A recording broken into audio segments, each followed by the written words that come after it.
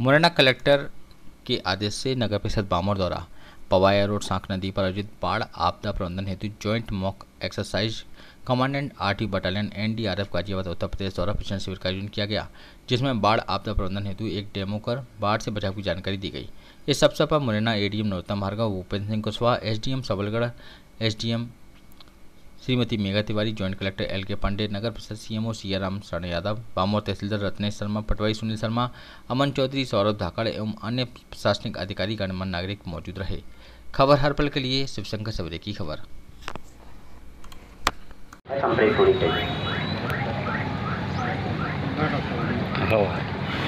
जो भी death case होते हैं जैसे हार्ट अटैक आते हैं तो जो भी हमारी कैजुअलिटी होती है लगभग अधिकतर ओवर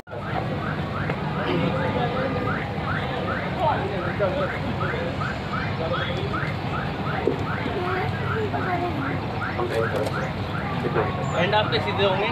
जो फोर्स लगाऊँगे आप शोल्डर से होंगे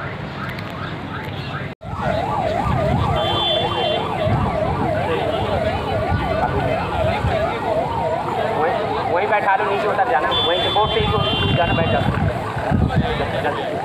किया गया है? क्या कहना आपदा प्रबंधन को लेकर जो मॉक ड्रिल जो की गई है उससे आम जनता को क्या आप, आप संदेश देना चाहते हैं? आप सब जानते हैं कि जैसे विशेषकर मुरैना ज़िले में चंबल नदी है जो सांप हो या अन्य जो नदियाँ हैं उनमें समय समय पर घटनाएँ दुर्घटनाओं का डर बना रहता है। बाढ़ की स्थिति भी अक्सर बनती है। पिछले दो साल में तीन बार मुरैना ज़िले में बाढ़ आई है और उस समय हमें ये आवश्यकता महसूस होती है कि हम जो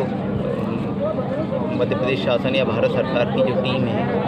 उनकी सहयोग की आवश्यकता होती है। आज हमारे यहाँ गाजियाबाद से एनडीआरएफ की टीम, श्री पंकज मिश्रा जी के नेतृत्व में यहाँ आई, उनको अवगत कराया कि हम आपके यहाँ इस तरह की ट्रेनिंग देना चाहते हैं, जिससे स्थानीय लोगों को, प्रशासन को एस की हमारी टीम जो है, उनको इस तरह के ऑपरेशन में मदद मिले। तो आज उन्होंने जैसे कहा, हमने सारे जिला प्रशासन के समस्त विभागों को इसमें शामिल किया और स्थानीय लोगों से इसमें बुलाया, उनको आमंत्रित किया। माननीय जनप्रतिनिधिगण भी कुछ यहाँ पर उपस्थित हैं और यहाँ तरह तरह से उन्होंने कॉन्टैक्ट नॉन कॉन्टैक्ट जो रेस्क्यू हैं, वो करके बताए। किस किस तरह की घटनाएँ, दुर्घटनाएँ होती हैं तो किस तरह से लोगों को रेस्क्यू किया जाता है उस सब के बारे में बहुत डिटेल